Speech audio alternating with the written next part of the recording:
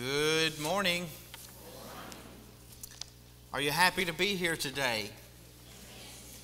I'm certainly thrilled and honored and privileged to be with you today, a, part of this assembly of the saints for yet again another period of worship to Him who created us. I want to wish all of you a happy Memorial Day. This is a weekend in which Many Americans travel to partake in some kind of activity which brings them pleasure. And so I say thank you to all of those who have fought for us to make that possibility a reality. As we remember and memorialize what has been done in battle for our freedom, and as we have memorialized the possibility and the reality of our spiritual freedom and the death, burial, and resurrection of Christ. I want us to think about this morning some similarities that we find between the church and a battle scenario. You know, there are many different similarities we can consider if you think about a battle situation between that and the church. Today, I want us to focus on three. You may have asked the question at some point in your life, or maybe if you didn't ask it, you have wondered within yourself about the church. Well, what's in it for me? You say, well, preacher, that doesn't sound like a very good attitude for a person to have to, to think about what the church has to offer for me. But the truth of the matter is that if the church doesn't have anything to offer us, then there's no uh, motivation for us to be a part of it, is there? And so let's think today about what the church has to offer for each of us as members of it. The text that we read, that, that Michael read for us from Acts chapter 2, we'll come back to it a little bit later, but really in that text, we have a very vivid description and a, a great picture of the early church.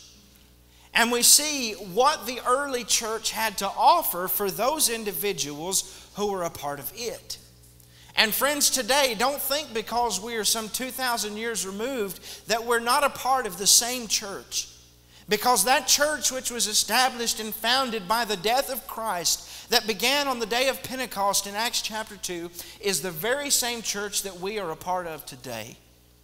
And so, the benefits and the blessings that we see the church in the first century offering to those Christians are the same benefits and the same blessings that the church has to offer us today.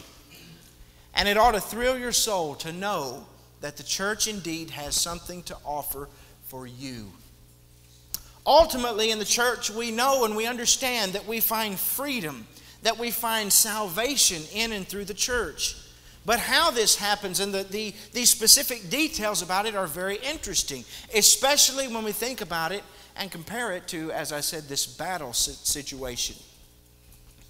So, as we contemplate Memorial Day and we consider what is in the church for all of us, think with me about the fact, first of all, that the church is a boot camp for soldiers. Have you ever thought about it like that? The church is a boot camp for soldiers. Now, uh, boot camp, of course, if you've ever been there, you understand is for training. And, and sometimes people go in relatively unfit and, and unaware, really but you know, when they come out of that boot camp, they're what we might call fit as a fiddle. They are aware of the seriousness of the task with which they have been entrusted. And just as the, the, the boot camp for our military today is like that, the church is a boot camp for soldiers in the church. The church trains soldiers in a battle that we're fighting against Satan. And it needs those who are both serious about that task and those who are fit for the task. As such, the church is training, number one, soldiers who minister to the needs of others. You think about how the military works, and it's set up where people are helping each other. It's not something where one person can go into a battle situation and declare the victory and win the victory. And the same is true in the spiritual battle that we're facing. You cannot do it alone. Yes, I understand you need the help of God, you need the help of Jesus, you need the help of the Holy Spirit. But really, we need the help of each other to win this battle that we're in against Satan. And the church is set up in that way. It's a part of Christianity. Christianity is a religion of help and, and one where there's always to be a sense of community. We are interdependent of one another as Christians. We see a good illustration and an example of that in Philippians chapter 2. If you have your Bibles, turn to Philippians chapter 2, and we'll begin reading in verse 25 this morning. There in Philippians chapter 2, as, as Paul is writing to the church at Philippi, he mentions uh, a very interesting individual who apparently was a good helper. A, a person who was willing to go above and beyond what was required of him to see that he was helping others and ministering to their needs. His name, Epaphroditus. Philippians chapter 2, beginning in verse 25. There, Paul says, Yet I considered it necessary to send to you Epaphroditus, my brother, fellow worker, fellow soldier, but your messenger and the one who ministered to my need. Now that's interesting. That he doesn't just stop and say, Well, church, here this man Epaphroditus is, and he's helped you, he's ministered to your needs. Albeit that might have been the case, Paul doesn't begin there. He says, Epaphroditus has ministered to my needs. And as great and as powerful a preacher as the Apostle Paul was, we see time and time again where he needed folks to help him. He needed folks to minister to his needs, and that's what Epaphroditus did for him. Verse 26 says that since he was longing for you all and was distressed because you had heard that he was sick. And so there was a reciprocal kind of care here between Epaphroditus and even the church in Philippi. But in verse 27, we see, For indeed he was sick almost unto death, but God had mercy on him, and not only on him, but on me also, lest I should have sorrow upon sorrow. Therefore I sent him the more eagerly, that when you see him, you may rejoice and be less sorrowful. Receive him therefore in the Lord with all gladness, and hold such men in esteem, because for the work of Christ he came close to death, not regarding his life and then the very last statement in that paragraph, we see why Epaphroditus did this to supply what was lacking in your service toward me. And so again, Epaphroditus was one of these soldiers who had been in this boot camp we're talking about, where they were trained to minister to the needs of others. I hope that you, in your time in the church, are learning to help each other to minister to one another's needs. Well, number two, as such, the church is training soldiers who will fight against evil. Yes, it's important to have those who minister to the needs of others, but my, how important it is to have those who fight against evil. You know, the military, I imagine, I've never been a part of the military, but I don't imagine the military would take too kindly to a person who is unwilling to fight against evil forces. Isn't that supposed to be the purpose of our military? To, to fight against those evil forces who want to cause us harm, to protect us. The military is not going to accept a person who doesn't fight against evil forces. As a matter of fact, I believe serious action would probably be taken against one who wouldn't stand up and fight in the name of our country against those evil forces. But you see, in the church, sometimes that's what is happening. Sometimes in the church, we're not fighting against the evil forces. We're not fighting against Satan, who, as we talked about this morning, is like that roaring lion who's walking about seeking whom he may devour. You know, Satan is always prepared. He's always ready at, to strike at a moment's notice, just like this. He's ready. That's why we're, we are told Likewise, to always be ready. The Apostle Paul says in Romans chapter 1 and verse 15 that inasmuch as in him was, he was ready to go and preach the gospel.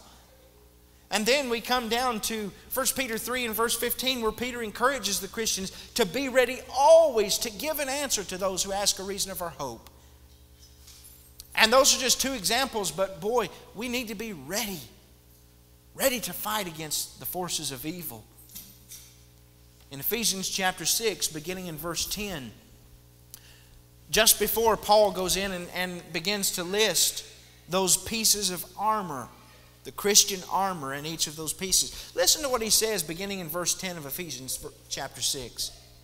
Finally, my brethren, be strong in the Lord and in the power of his might. Put on the whole armor of God. Why? That you may be able to withstand the wiles of the devil. For we do not wrestle against flesh and blood, but against principalities and powers, against the rulers of the darkness of the age, against spiritual hosts of wickedness in the heavenly places. That sounds like a daunting task, doesn't it? To be fighting in a battle against these people, the principalities, the powers, the hosts of wickedness in heavenly places. That's why Paul says to strap up, put your armor on, and be ready to go into battle. Therefore, verse 13, take up the whole armor of God that you may be able to withstand in the evil day, and having done all, to stand. In the church, we are trying to prepare you and to equip you to fight this battle against Satan. We can't do it for you.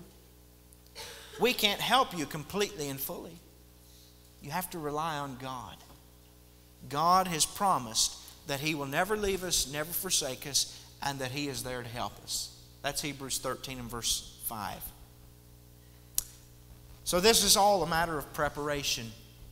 Just like a boot camp prepares soldiers for battle, the church is a training ground for saints in the fight against evil.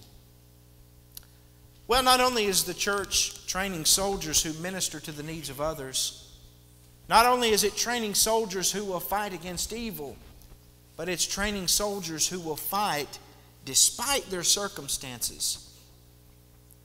That's important in military, isn't it? To be able to go to battle at a moment's notice, regardless of your circumstances. And it's just as important in our spiritual battle.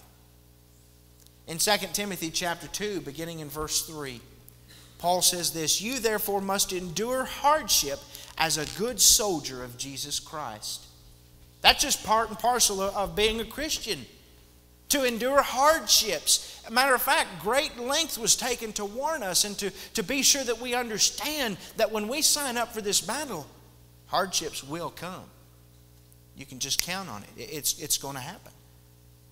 Then in verse 4, he says, No one engaged in warfare entangles himself with the affairs of this life, that he may please him who enlisted him as a soldier.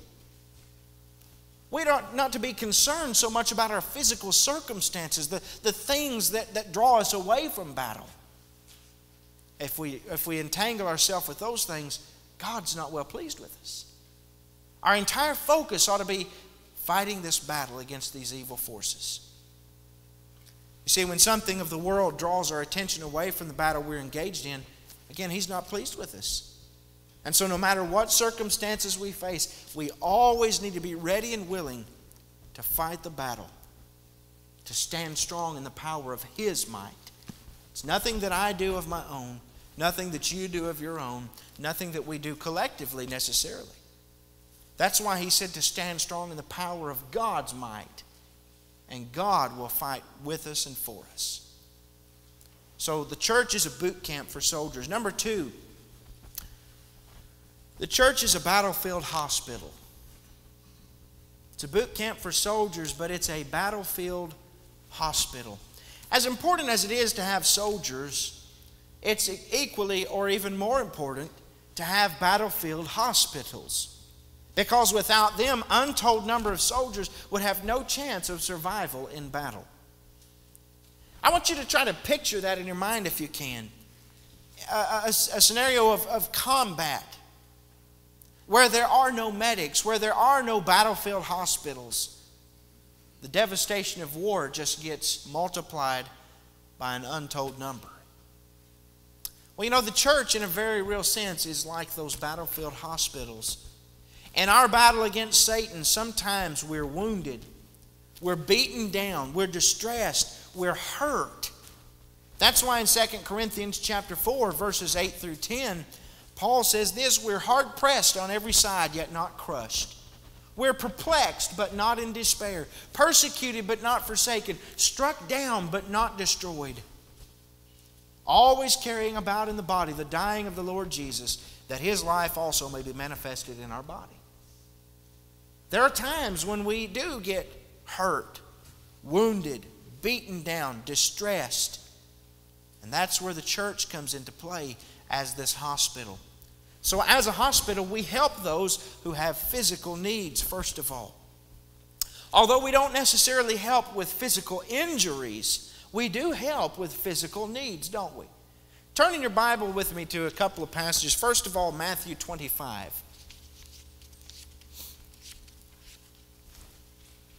Matthew chapter 25, and we're going to see this idea in action.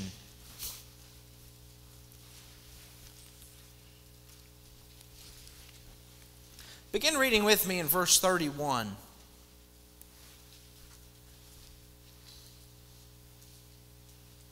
When the Son of Man comes in his glory and all the holy angels with him, then he will sit on the throne of his glory. All the nations will be gathered before him, and he will separate them one from another as a shepherd divides his sheep from the goats. He will set the sheep on his right hand, but the goats on his left. Then the king will say to those on his right hand, Come, you blessed of my Father, inherit the kingdom prepared for you from the foundation of the world. For I was hungry, you gave me food. I was thirsty, you gave me drink. I was a stranger, and you took me in. I was naked, and you clothed me. I was in sick, and you visited me. I was in prison, and you came to me. Then the righteous will answer him, saying, Lord, when did we see you hungry and feed you, or thirsty and give you drink? When did we see you a stranger and take you in, or naked and clothe you? Or when did we see you sick or in prison and come to you? And the king will answer and say to them, Assuredly I say to you, inasmuch as you did it to one of the least of these my brethren, you did it to me. And so there is a very real sense in which we as the church are to help with the physical needs, especially of our own. Especially of our own people. We help with physical needs as a battlefield hospital. Now, in Luke chapter 10, we won't take the time to go over there and read it.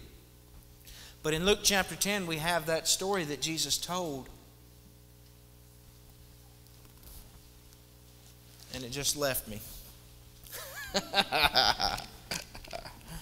That's what happens when you just put the verse reference and don't put what it is. Oh, goodness. Luke chapter 10. Maybe we will take time to read it. Luke 10, beginning in verse. Uh, 30. Jesus answered and said, A certain man went down from Jerusalem to Jericho. You're familiar with the story. And he fell among the thieves who stripped him of his clothing and wounded him and, and departed, leaving him half dead. Now, by chance, a certain priest came down that road, and when he saw him, he passed by on the other side. Likewise, a Levite, when he arrived at the place, came and looked and passed by on the other side. But a certain Samaritan, as he journeyed, came where he was, and when he saw him, he had compassion. So he went to him and bandaged his wounds, pouring on oil and wine. He set him on his own animal and brought him to an inn and took care of him. On the next day, when he departed, he took out two denarii, gave them to the innkeeper, and said to him, Take care of him, and whatever more you spend, when I come again, I'll repay you. So, which of these three do you think was neighbor to him who fell among the thieves? And he said, He who showed mercy to him.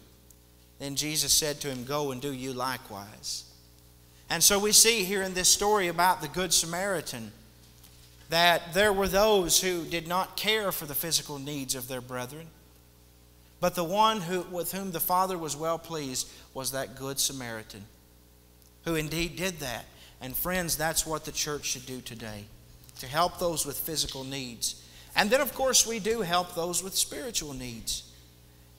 Even that is provided by the military, isn't it? Although not necessarily in the battlefield hospitals, they provide for people's spiritual needs. In the church, this is our primary concern. What better place could there be to turn than to the church? Yes, we need to turn to Jesus, but you cannot turn to Jesus without turning to the church. You cannot separate the church from Jesus, nor can you separate Jesus from the church it doesn't happen. And so, in a real sense, when you turn to Jesus for your spiritual needs, you're turning to the church. And that's the way God designed it. In Matthew chapter 11, verses 28 through 30, as Jesus gives that familiar and famous invitation Come to me, all you who labor and are heavy laden, and I will give you rest. Take my yoke upon you and learn of me, for I am meek and lowly in heart, and you shall find rest for your souls. He was talking about helping their spiritual needs. Did he help with people's physical needs? Certainly he did. But when he did that, it was always, so far as I know, as a buffer to lead to helping them spiritually.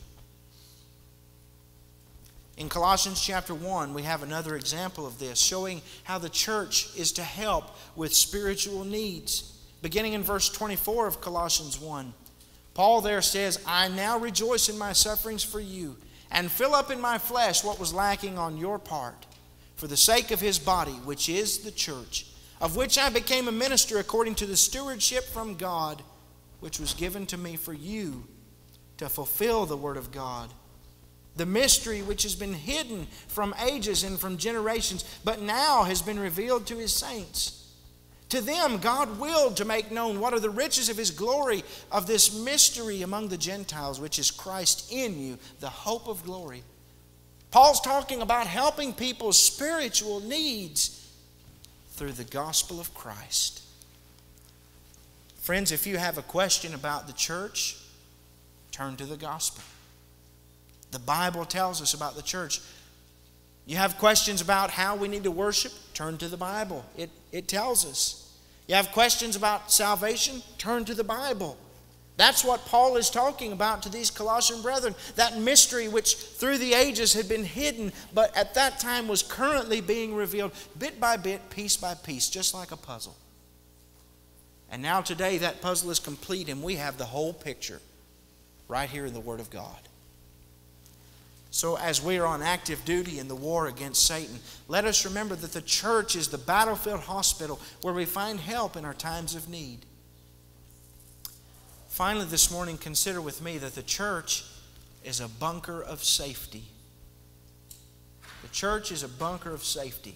Yes, it's a boot camp for soldiers, it's a battlefield hospital, but it's, it's a bunker for safety. Now, I, I got to, to thinking about a bunker. And I, I knew what a bunker was, but I want to read for you a description of a bunker.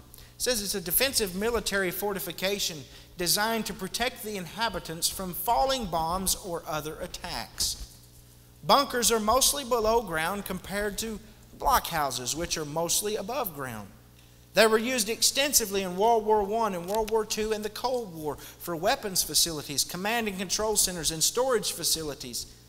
And bunkers can also be used from protection, for protection from tornadoes. That comes from Wikipedia. You think about how a bunker functions for the military in protecting what is important, whether it be soldiers or whether it be weapons or that control and command center. That's important. The church is not only a place where we train and where we receive the help in, in different areas of our life, it's a place of safety. Friends, the church is a place of refuge. It's like a bunker for us to protect us against the attacks of Satan. I don't know about you, but for me, when I am here with you as the church, I feel like there's nothing this world can throw at me that I cannot tackle. Because I understand this is my safe place, this is my place of refuge. In this bunker, we find a few different things. Number one, encouragement from fellow soldiers. You talk about a blessing in being a, in a bunker, it would be encouragement. In our text in Acts chapter 2, we're not going to go back and reread it, but there in Acts chapter 2, we see that. Encouragement coming from their fellow Christians, where they were all together nearly every day where they all had they had all things in common, where they shared every possession that they had. You talk about a means of encouragement, and that was it. But in Philippians chapter 1 and chapter 2, we find uh, some more about this kind of encouragement that comes from our fellow Christians. Philippians 1, beginning in verse 12, says, I want you to know, brethren, that the things which happened to me have actually turned out for the furtherance of the gospel And so Paul is trying to encourage the Philippian brethren to not look at their trials and tribulations and persecutions as a bad thing, but to try to find the positive things that can come from it. Then drop down in Philippians chapter 2, beginning in verse 1, where he says, Therefore, if there's any consolation in Christ, if there's any comfort of love, any fellowship of the Spirit, if any affection and mercy, fulfill my joy by being like minded, having the same love being of one accord, of one mind. And then in verse 5, he says, Let this mind be in you, which was also in Christ Jesus.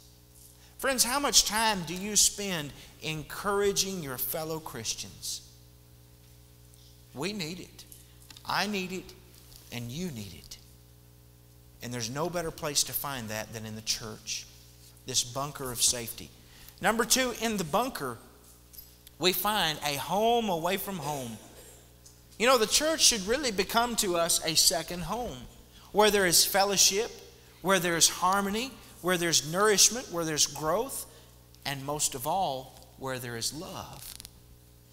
Again in Philippians, this time chapter 1, beginning in verse 19, Paul says, For I know that this will turn out for my deliverance through your prayer and the supply of the Spirit of Jesus Christ according to my earnest expectation and hope, that in nothing I will be ashamed, but with all boldness, as always, so now also Christ will be magnified in my body, whether by life or whether by death. Hmm.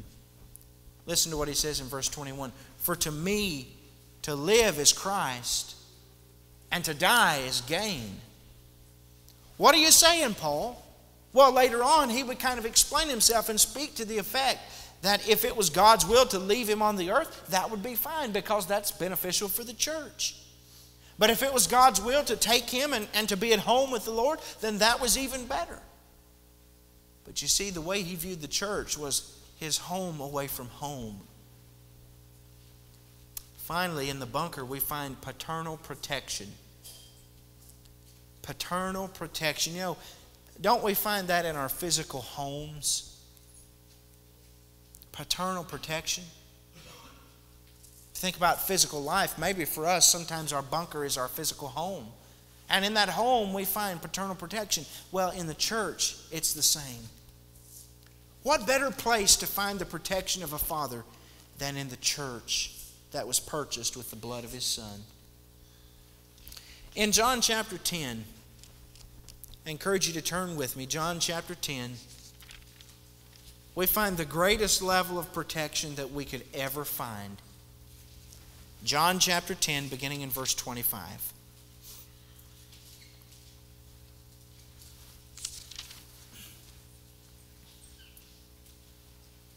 Jesus answered them and said, I told you, and you do not believe.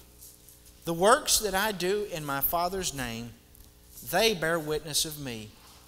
But you do not believe because you are not of my sheep, as I said to you. Now, watch verse 27 and following. My sheep hear my voice, and I know them, and they follow me. And I give them eternal life, and they shall never perish, neither shall anyone snatch them out of my hand. My Father, who has given them to me, is greater, greater than all and no one is able to snatch them out of my Father's hand. I and my Father are one. You talk about a level of security and protection that we can't find anywhere else. We find it in the church. We find it in Jesus Christ. That's one of the spiritual blessings that Paul mentions in Ephesians 1 and verse 13. All spiritual blessings are found in Christ, in the church. Don't misinterpret the passage to say that will never, ever fall from grace no matter what. That's not what Jesus is teaching. He's teaching about being in fellowship with the Father. He's teaching about his sheep who hear his voice and follow him. And as long as that describes you, nothing can take you away from fellowship with God. So we've seen that the church is a boot camp for soldiers, a battlefield hospital, and a bunker of safety. Boy, there really is a lot of benefit of being a part of the church, especially considering the serious war that is waging right now between Satan and us. Are you part of the army of God today? If not, the things we've talked about today will not help you. The good news is, though, that you can enlist in this army today. You can be a part of the church.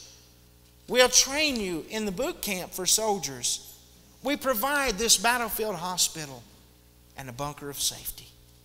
How can you enlist? The Bible tells us that we must hear the word of God, Romans 10 17. To believe that Jesus Christ is the Son of God, John 8 24 to repent of our sins, Luke 13, 3 and 5, confessing our faith in Him, Matthew 10, 32 and 33, and then being immersed for the forgiveness of sins, 1 Peter 3 and verse 21. If you've not done those things today, you're not a part of God's army. We want that to be the case, and we want to help you with it. Perhaps you have done those things. Maybe you're already enlisted, but you are AWOL. If you've fallen away from the church, You've taken leave. It's time for you to come home. It's time for you once again to be faithful to the Lord in this battle against Satan. Friends, God loves each one of you. He wants to help you, but it must happen on His terms. And so, if you need to enlist today, or if you need to come home from that leave, come right now while we stand together and sing.